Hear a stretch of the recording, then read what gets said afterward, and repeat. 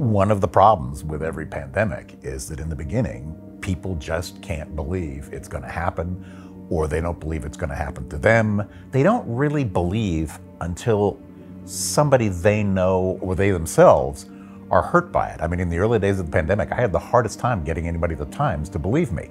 I was in a meeting with the business editors who were talking about what happens now that flights from China have been canceled, and I've listened for a while to the discussion and finally got exasperated and said, You don't understand. This isn't just going to be China. This is going to affect the whole world. And a business editor looked at me and said, Are you saying that everything might shut down? I said, Yeah, maybe just in my face and turned away.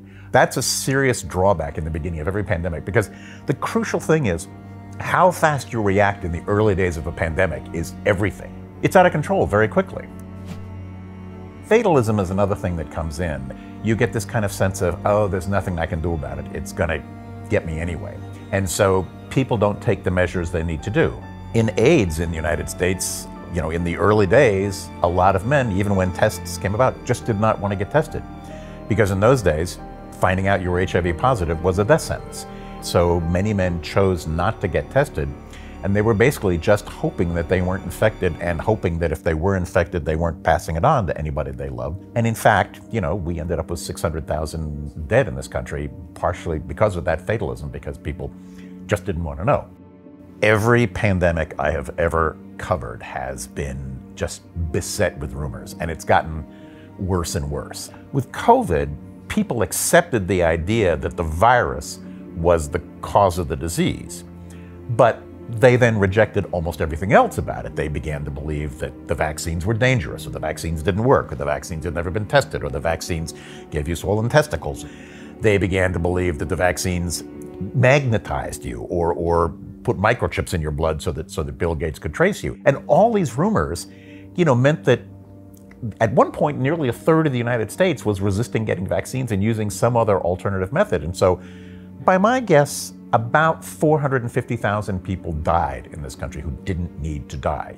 I said to a friend of mine once, the longer I cover diseases, the more of a public health fascist I turn into. And he said, Donald, do, do not ever say that. Do not ever write that down. That's so politically incorrect. And I said, no, that, that's how I feel.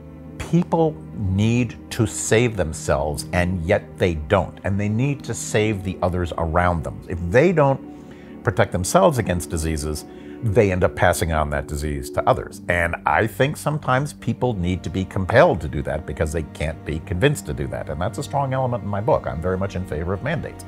And one of the aspects of this that's tough is that every time a disease starts out, it starts out inside one small network of people. And the minute public health officials try to move on that network to stop the disease, they will be accused of bigotry. The truth is, you have to protect the first victims of the disease, not just so they don't spread it to others, but you have to protect them from the disease itself. And sometimes that requires being very tough with that small group.